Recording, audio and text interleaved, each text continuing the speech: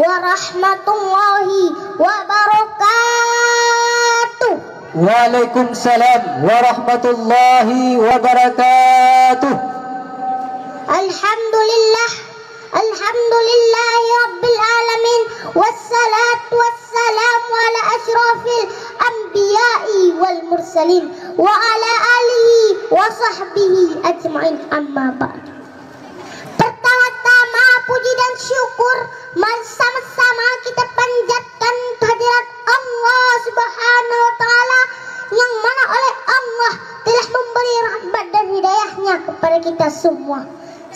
Sehingga kita bisa berkumpul di tempat yang berbahagia ini. Selanjutnya salam dan salam mari sama-sama kita junjungkan kepada baginda Rasulullah sallallahu alaihi wasallam. Sallallahu alaihi wasallam. Yang mana oleh beliau telah membawa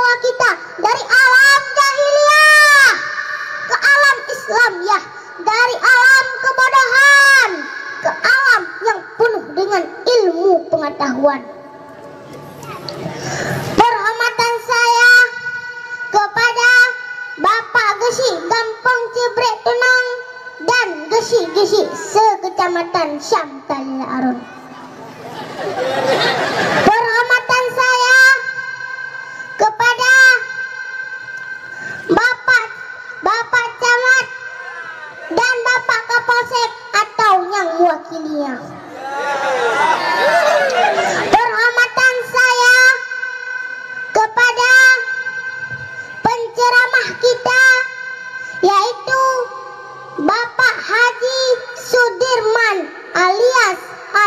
Umpang.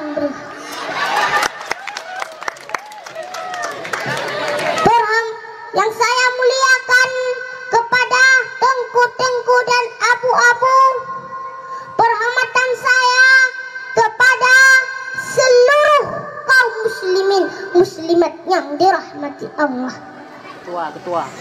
Ketua. Ketua, ketua. Lanjut, lanjut, lanjut, lanjut. Lanjut, lanjut, lanjut. hadirin kaum muslimin rahimakumullah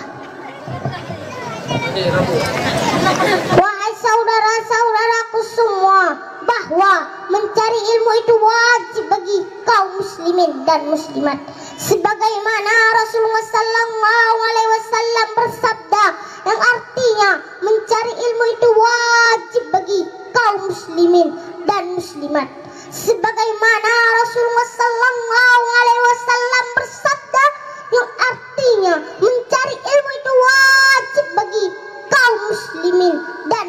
muslimat sebagaimana Rasulullah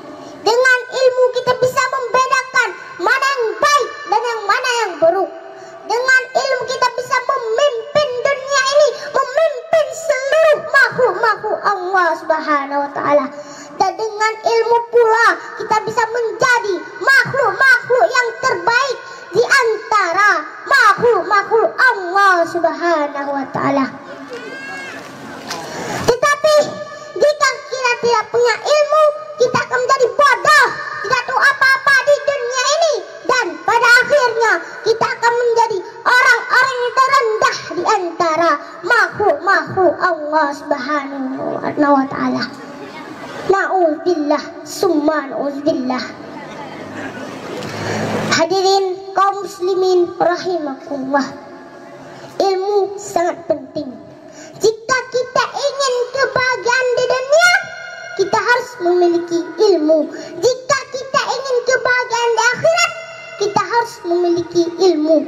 Tanpa ilmu kita tidak tahu yang mana perintah Allah dan yang mana larangannya. Sebaik-baiknya ilmu,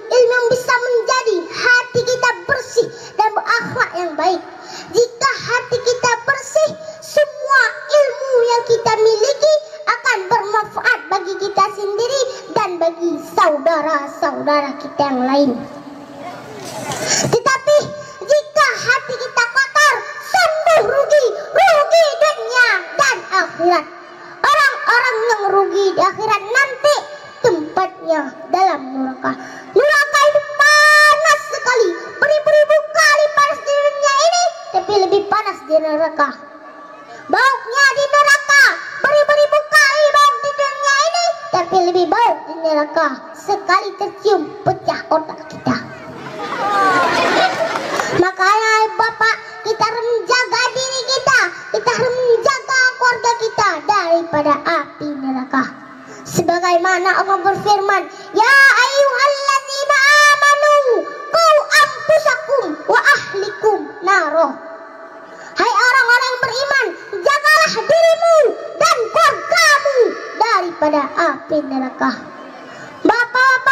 didik anak-anak kita ilmu agama dari kecil. Antar mereka ke tempat-tempat pengajian supaya mereka menjadi orang-orang yang takwa dan anak-anak yang soleh.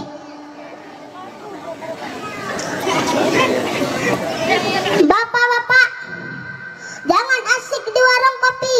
Di warung kopi boleh, tapi kalau sudah mendengar azan langsung ke masjid.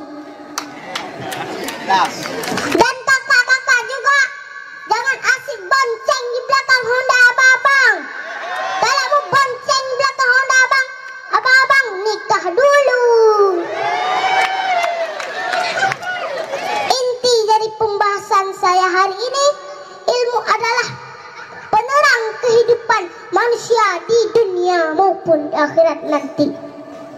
Maka jangan lalai dalam menuntut ilmu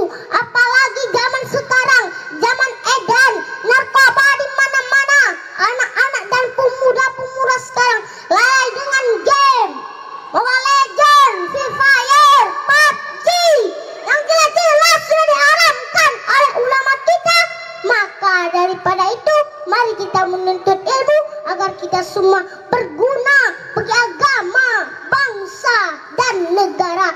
Amin amin ya rabbal alamin. Sampai di sini saja. Mohon maaf atas segala kekurangan. Wabillahi taufiq wal hidayah. Wassalamualaikum